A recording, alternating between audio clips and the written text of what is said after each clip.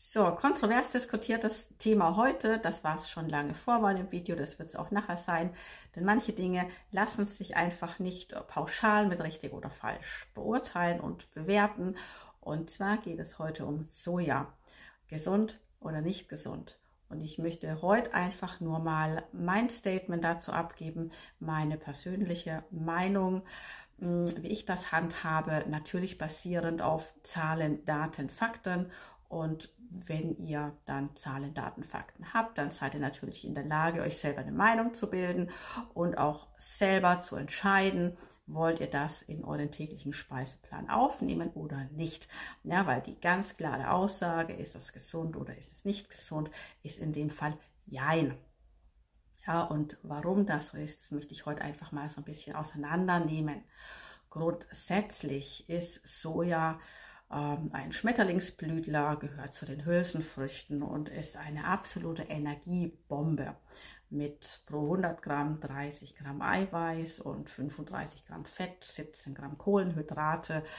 Und ja, das hat sich natürlich auch rumgesprochen, schon von jeher unter den Fraßfeinden. Und demzufolge musste diese Pflanze sich evolutionsgeschichtlich auch schützen, damit sie ja nicht äh, völlig äh, das Futteropfer wird. Und wie macht sie das?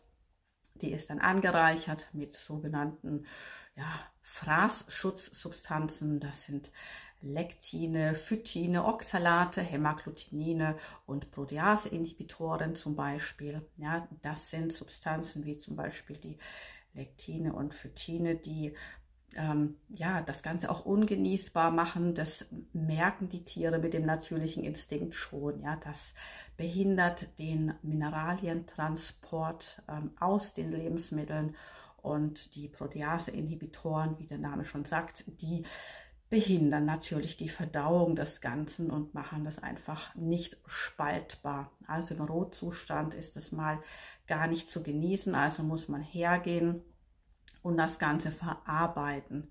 Soja hat eine lange Tradition aus dem asiatischen Raum. Da wurde das natürlich angebaut und das wurde auch natürlich verarbeitet, ganz traditionell mit Fermentation. So, das ist das eine Soja, das man so kennt, das urtümliche. Und dann gibt es natürlich noch Soja Nummer zwei, wie es einfach auch so bei uns im westlichen Raum bekannt ist das ist jetzt Soja, das wird industriell verarbeitet, das wird auch industriell hochgezogen. Also mittlerweile ist es einfach so, dass über 90 Prozent des gesamten Sojaanbaus der Industrie dienen, hauptsächlich als Futtermittel. Da möchte man natürlich möglichst wenig Verluste haben. Ja, wie immer zählt hier der Umsatz. Das heißt, das muss möglichst schnell wachsen und dann auch schnell trocknen. Wer mein letztes Video gesehen hat, der weiß, wie man das macht. Also man gibt da schön Glyphosat über dieses Soja. So, und wer das letzte Video geguckt hat, der weiß auch warum dieses Soja das Ganze, diese Prozedur überhaupt übersteht, genau, dass es genmanipuliert. Das heißt, der meiste, also das meiste Soja, das man so mh, mm, erhalten kann, ist tatsächlich aus ja nicht empfehlenswertem Anbau, um das mal so zu bezeichnen. Und es ist schwierig hier zu differenzieren, welche Wertigkeit hat denn hier mein Lebensmittel, was die Qualität angeht, was den Toxingehalt angeht und was vielleicht äh, die, den Aspekt der Genmanipulation angeht. So, und außer Fermentation kann man natürlich diese Phytobegleitstoffe auch deaktivieren durch Erhitzen, mehr oder weniger.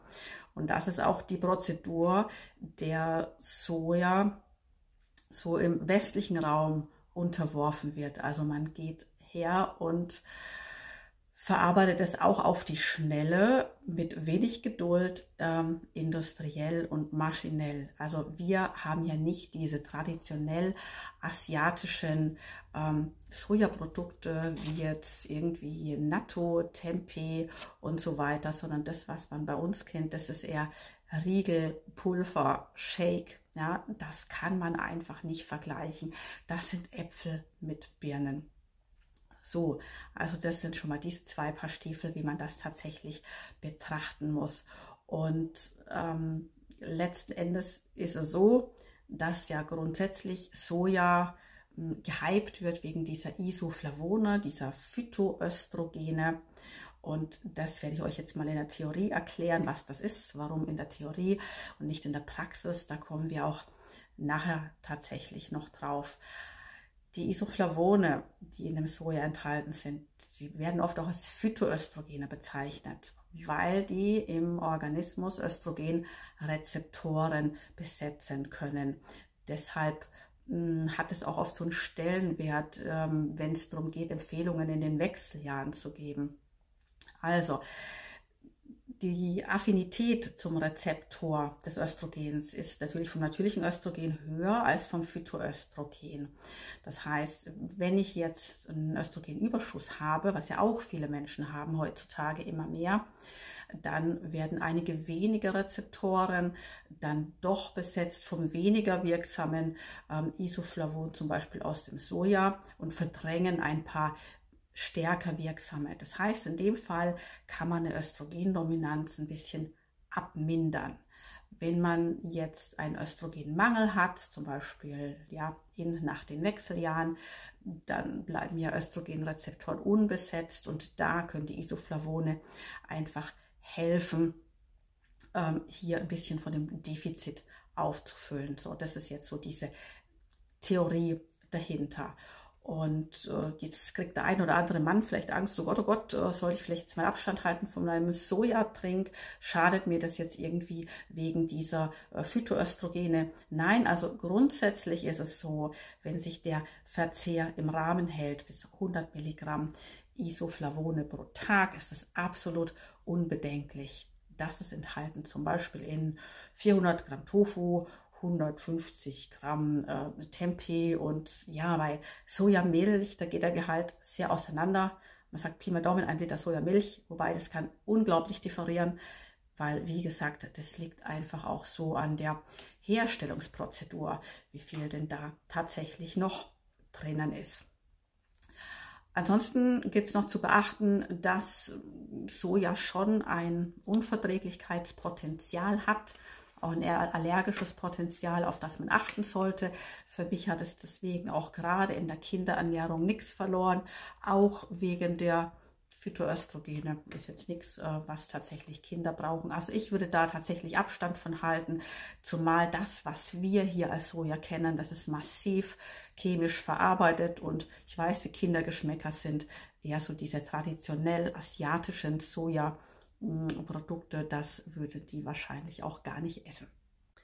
So, und diesen Isoflavonen, die da unter anderem heißen Genisein und Daizein, denen wird auch oft nachgesagt, dass die ja, sich nachteilig auswirken würden bei Schilddrüsenunterfunktion, bei Hashimoto. Wobei, das ist eine Geschichte, da hat man rausgefunden, dass das oft eher, wenn dann nur der Fall ist, wenn hier ein massiver Jodmangel vorliegt. Und da ist eher der Jodmangel das Problem und tatsächlich nicht diese Isoflavone. So, jetzt kommen wir aber zum Knackpunkt der Isoflavone und der Bioverfügbarkeit. So, also in der Theorie sind ja viele Isoflavone letzten Endes enthalten im Soja. So, jetzt müssen die aber überhaupt erstmal durch Hydrolyse durch Fermentationsbakterien in eine aktive Form umgewandelt werden. Das weiß jetzt auch fast keiner. Also dieses Deizin zum Beispiel, das ist so nicht nutzbar. Da muss erstmal so ein Schwarm Bakterien nachhelfen und das in Equol umwandeln. So, und der ein oder andere, der schon mal so einen Mikrobiombefund in der Hand hatte, wie ich den zum Beispiel mache, der sieht, dass da in der Übersicht auch steht Equolbildner. Das heißt, man kann die Bakterienstämme im Darm die überhaupt die Isoflavone überhaupt bioverfügbar machen, die kann man messen. So, und im asiatischen Raum kann wirklich jeder Zweite gut diese, dieses Equol bilden. Die, dieses Potenzial wird natürlich auch gefördert durch vermehrten Sojakonsum, aber natürlich hochwertigen Sojakonsum. Und bei den Kaukasien hier bei uns, da ist es faktisch so, dass nur, man sagt jeder Vierte, überhaupt ähm, Daizin in Equol umwandeln kann und das auch nur so seine Wirkung entfalten kann. Und wenn ich jetzt mal so gedanklich meine Mikrobiombefunde durchgehe, die ich so angeguckt habe, Equolbildner also das ist gar nicht mal jeder Vierte, bei dem die wirklich, ähm, ich sage mal, in einer Menge vorhanden sind, dass das Potenzial hat. Ja, also von daher würde ich auch sagen, das Ganze ist auch ein großes Geschäft.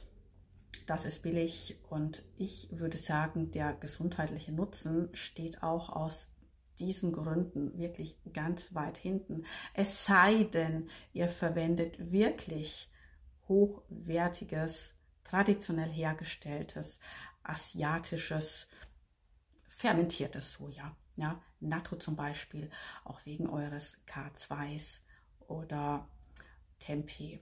Das kann man schon mal machen. Miso-Paste.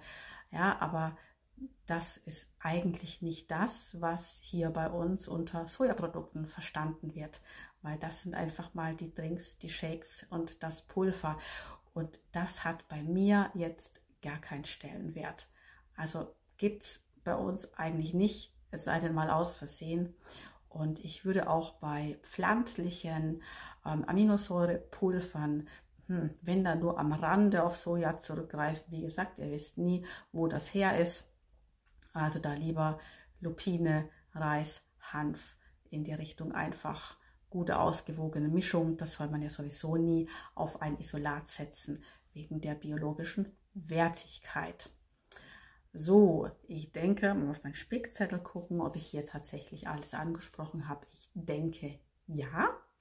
Also in diesem Sinne, überlegt euch einfach gut, was ihr einkauft.